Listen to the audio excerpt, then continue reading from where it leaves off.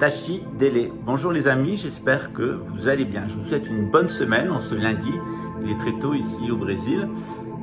Cette semaine, eh bien, nous recommençons les cours d'astrologie. Nous avons aussi un nouveau service qui est l'accompagnement individualisé. Il y a déjà un certain nombre de personnes qui se sont inscrites. En quoi ça consiste? Vous avez une heure de yoga par semaine avec une personne qui a passé 5 ans en Inde dans un ashram, qui est vraiment un professeur émérite de Hatha Yoga. Et puis vous avez une heure d'accompagnement avec moi sur les bases du bouddhisme. Mais on peut discuter de tous les sujets, c'est juste vous accompagner dans votre vie spirituelle. Le maximum pour ce cours, c'est 5 mois. Euh, c'est bien de le faire un mois, mais 5 mois, c'est le maximum en tout cas en ce qui concerne l'accompagnement. Après, vous pouvez continuer les cours de yoga en collectif. L'essentiel, c'est d'avoir au début de votre sadhana, de votre discipline euh, spirituelle, d'avoir vraiment un coup de main. Quelquefois, on ressent des difficultés dans l'existence, on a en quelque sorte besoin d'être pris en main. Mais ensuite, euh, il faut pas euh, être aidé. Mais cette prise en main, elle doit pas durer dans le temps parce qu'elle vous rend dépendant. Et puis aussi, ça devient une secte, ce qui n'est pas l'objectif. L'objectif, c'est que vous soyez le plus indépendant possible, bien dans votre corps et indépendant dans votre corps. Retrouvez les fonctions de votre corps. Le Hatha Yoga vous y aide. Que vous fassiez le point sur vos souffrances émotionnelles, affectives et vos mémoires et que vous fassiez le point sur les représentations que vous avez. Moi, je suis là pour les représentations et l'émotionnel. Ma partenaire est là pour vous aider pour le Hatha Yoga.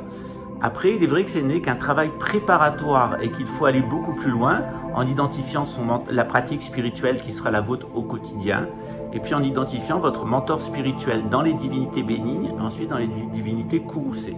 Pour les divinités courroucées, je pense que c'est raisonnable d'attendre quelques années avant de pouvoir les faire on dit souvent 10 ans, mais il faut commencer par les divinités bénignes. Par exemple, Amitabha, le Bouddha Amitabha, il a plusieurs hypostases. Une des hypostases, c'est Avalokiteshvara Chenrezi, qui le Bouddha de la compassion.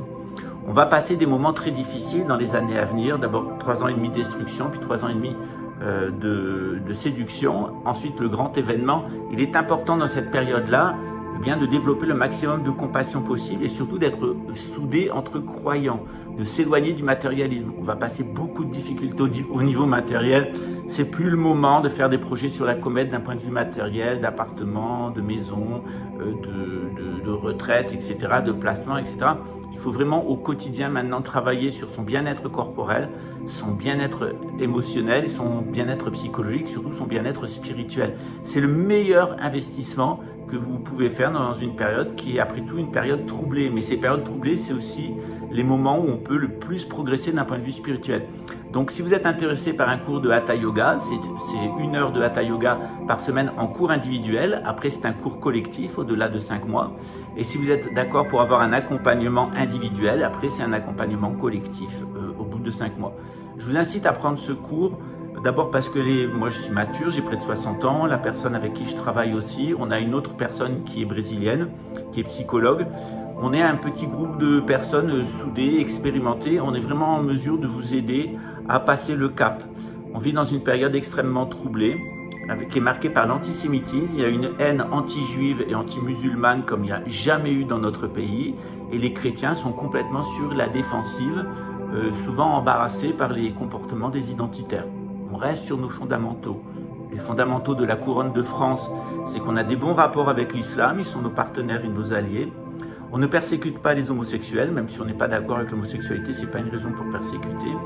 Les francs-maçons sont nos partenaires parce que c'est eux qui ont construit euh, nos cathédrales et les juifs, étant nos ancêtres dans la, foi, n'ont pas à être stigmatisés. Bien sûr, il y a toujours des écoles déviantes dans dans le judaïsme, aussi bien laïques que religieuses, ça existe aussi dans le christianisme. Il y a des écoles chrétiennes et dans l'islam aussi, laïques ou euh, religieuses qui sont déviantes. Ben Laden, c'est une école religieuse qui est complètement déviante, celle du wahhabisme.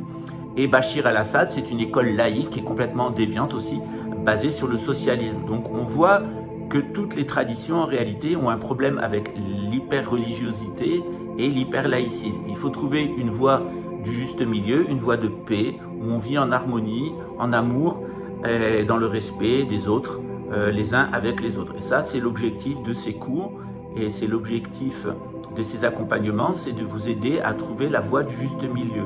Dans cette période très troublée, c'est la voie du juste milieu qui va vous permettre, en écartant les extrêmes, aussi bien extrême gauche que extrême droite, de trouver une voie, euh, ça c'est d'un point de vue politique, mais l'hyper-religiosité et l'indifférence à la religion, de trouver une voie au niveau religieux.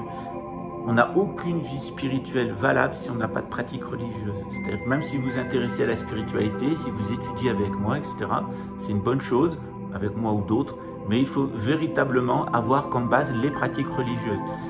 Dans le bouddhisme, c'est la méditation, principalement, l'étude des textes, la méditation des textes et les visualisations. S'il n'y a pas de méditation, s'il n'y a pas de visualisation, vous faites du bouddhisme euh, virtuel. C'est pas une bonne chose. Il faut vraiment incarner le bouddhisme dans son existence, dans le corps qui est le nôtre, avec les émotions qui sont les nôtres, les pensées, les représentations qui sont les nôtres, et trouver une interaction avec le cosmos, avec la nature et avec les autres qui soit profitable et qui ne génère pas de la souffrance. Donc une fois de plus, je vous souhaite une bonne euh, semaine, une bonne journée, puis on se retrouve tout au long de la semaine pour de nouvelles vidéos.